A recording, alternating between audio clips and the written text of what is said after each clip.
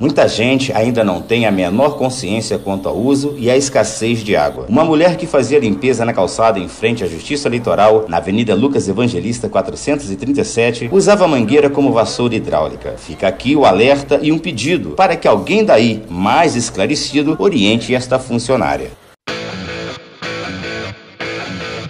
Os ingressos do Rock in Rio esgotaram e você não tem o seu?